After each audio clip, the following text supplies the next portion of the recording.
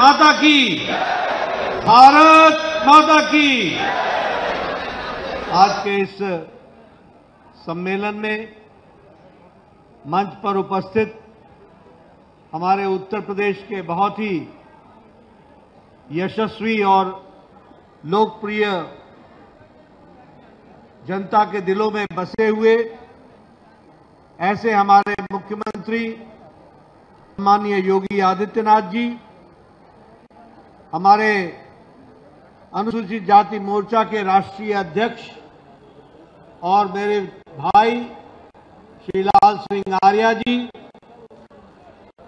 श्री बंडा जी, जो हमारे प्रभारी हैं, वी सतीश जी, जो हमारे संगठक हैं, हमारे पार्लियामेंट्री बोर्ड के सदस्य और वरिष्ठ नेता श्री सत्यनारायण जटिया जी, हमारे महामंत्री और अनुसूचित जाति मोर्चा के प्रभारी श्री तरुण चुग जी, उत्तर प्रदेश सरकार में मंत्री और भारत सरकार में मंत्री और आप सबके लोकप्रिय सांसद मेरे भाई श्री एसपी बघेल जी, हमारे भारत सरकार में मंत्री कौशल किशोर जी, मध्य प्रदेश के उप मुख्यमंत्री श्री जगदीश देवड़ा जी हमारे भोला सिंह जी, जो महामंत्री हैं, श्री रामचंद्र कनौजिया जी, इंद्रजीत वाल्मीकि जी, हमारे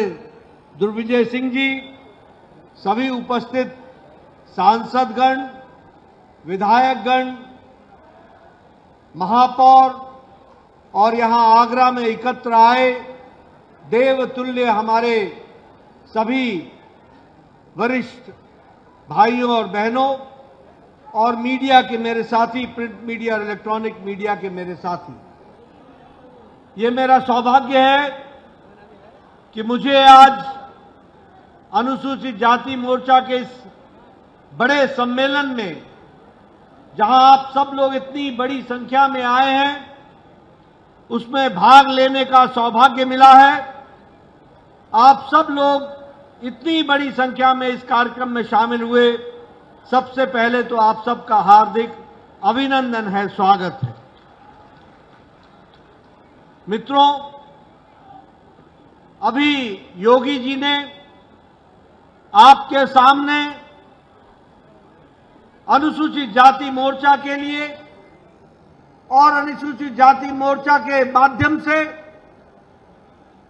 जो हमारे कार्यक्रम चले थे उसके बारे में जहाँ तक ज़िक्र किया तो साथ ही साथ आदरणीय मोदी जी के नेतृत्व में जो हमारे अनुसूचित जाति भाइयों और बहनों के लिए योजनाओं के बारे में भी उन्होंने चर्चा की। उन्होंने आपको बताने का प्रयास किया कि किस तरीके से हमारे भाइयों के लिए, बहनों के लिए मुख्य धारा में शामिल होने के लिए किस तरीके के कार्यक्रम चलाए गए, इसके बारे में भी उन्होंने चर्चा की है।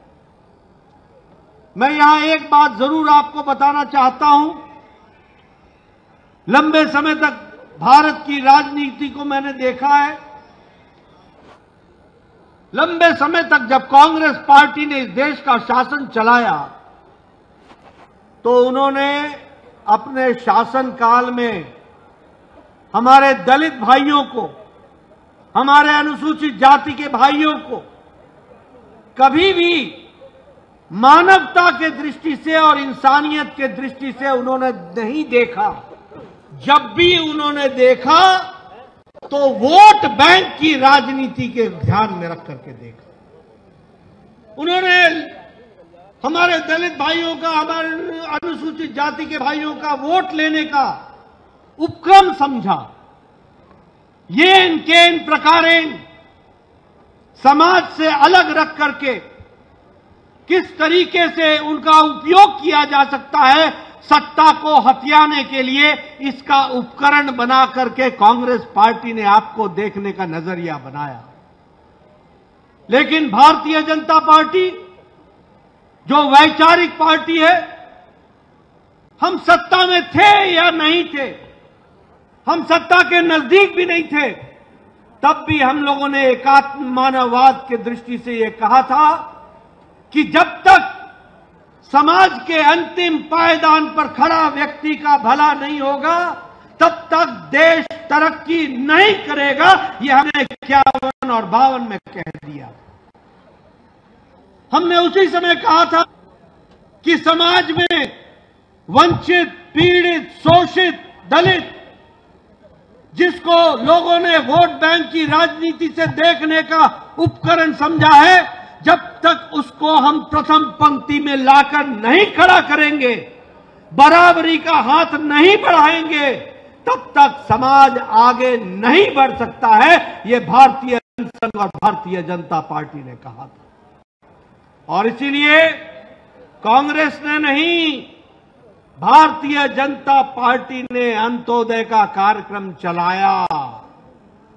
उस समय कांग्रेस पार्टी बोलती थी, ये अंत्योदय क्या होता है? अंत्योदय क्या होता है?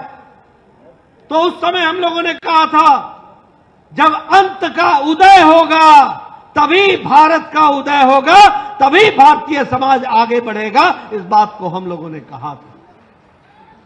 और मोदी जी ने उसी को आगे बढ़ा करके कहा, सबका साथ, सबका विकास, सबका विश्वास, सबका प्रयास। जब सबकी चिंता होगी, जब सबके प्रयास से चिंता होगी, जब सबका विश्वास मिल पाएगा और जब सब लोग मिलकर के साथ आएँगे, तभी समाज का विकास होगा। इस बात को ध्यान में रखा जाए। मित्रों, मैं यहाँ पर एक बात और आपको ध्यान में लाना चाहता हूँ।